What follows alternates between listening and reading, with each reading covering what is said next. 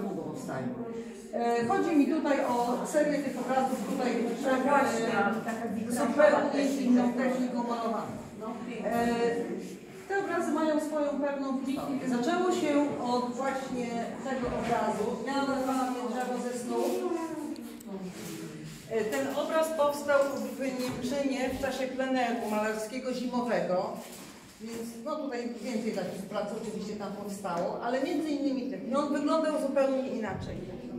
E, Był malowany tradycyjnie, to było drzewo, to były rośliny takie oszronione, szczawie, jakieś tutaj inne trawki, na których powiedzmy taki szron już się pojawił, natomiast drzewo było e, inaczej troszeczkę wyglądało, było e, na dalszym planie i podświetlone jakby przez mgłę promieniami słońca, które oświetlało tutaj tą e, resztę.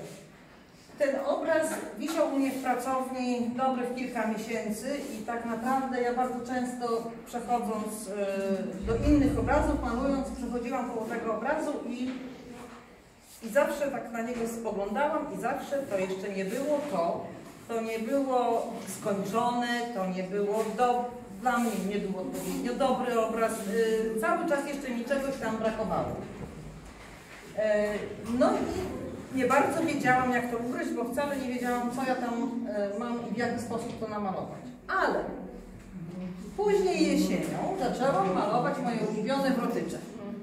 Właśnie No i tutaj w tych wrotyczach e, zaczęła się zabawa, bo mi trochę kolory nie pasowały, bo gdzieś miało, chciałam coś podkreślić. No i w związku z tym zaczęłam używać e, konturówek. Czyli tutaj takiego łuczki właśnie zaczęły się pojawiać. Zaczęło się e, baza, zabawa farbami, czyli wylewanie farb e, jedne na drugie, e, czyli było wycieranie, ściekanie. Tutaj zresztą widać te efekty. E, przecieranie, znowu nakładanie. Podejrzewam, że ja zresztą często mówię, że w niektórych miejscach na moich obrazach to mm, trudno e, zobaczyć, bo cienko jest bardzo kładziona farba, ale e, jest kilkadziesiąt warstw farby położonych. Kilkadziesiąt, czyli najpierw to są jasne, potem ciemne, potem znowu jest czerwony.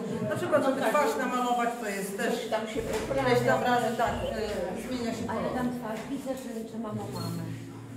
No, takie bywają. No, to chyba I powstał właśnie ten e, mój wrotyczowy obraz. Ja już e, mniej więcej wiedziałam, że troszeczkę chcę się pobawić tą techniką. I teraz proszę Państwa,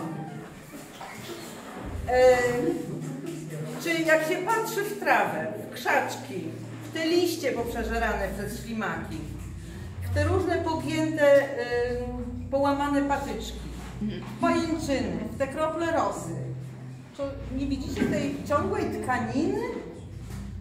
Takiego przeplatania się, zmiany, tam się cały czas coś zmienia, prawda?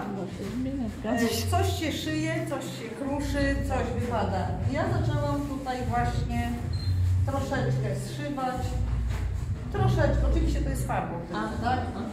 Trochę dziurawić i w ten sposób powstało moje drzewo snów. Ono zupełnie zmieniło, także ten obraz tak naprawdę mogę powiedzieć, że powstawał no grubo ponad pół roku. Chyba więcej, tak. E, Bo Zmieniała się rzeczywiście zmieniała się koncepcja, koncepcja cały czas, coś dorysowywałam, zostawiałam, on musiał przeschnąć. Po wyschnięciu farby też zmieniają nieco troszeczkę odcień, więc znowu trzeba było pomalować i tak w ten sposób coraz dalej, coraz dalej, aż do takiego efektu, który e, już mnie zadowolił.